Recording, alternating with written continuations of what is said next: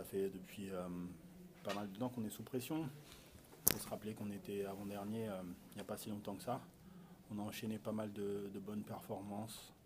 On est resté sous pression. Les entraîneurs ont, réussi à nous garder euh, concernés et vers cet objectif-là. Aujourd'hui, on avait une marche à franchir et, on, a trébuché. Peu de, peu ce soir. Est-ce que selon toi, c'est l'usure euh, physique qui commence à, à payer sur cette fin de championnat Non, non, je pense pas. euh, si mes souvenirs sont exacts, c'est la meilleure défense du championnat, je crois. Donc, euh, ils sont pas là par hasard.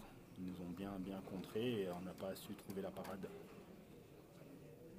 La discipline, Baki, au-delà de l'arbitre, ça s'explique comment? À Bourgoin, c'était un arbitre différent, ce soir-là, c'en est un autre, mais le résultat est le même. Oui, oui, on a.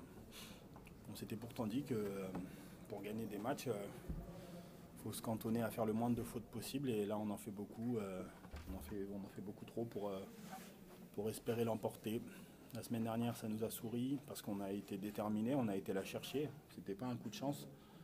Euh, voilà, on a fait une vraie performance à Bourgoin, même si dans le contenu, c'était pas terrible.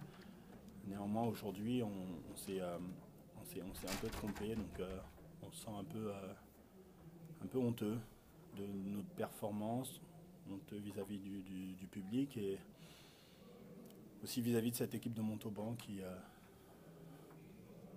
qui, sur la fin, nous a quand même un petit peu manqué de respect et ça fait un peu mal. Merci, Baki.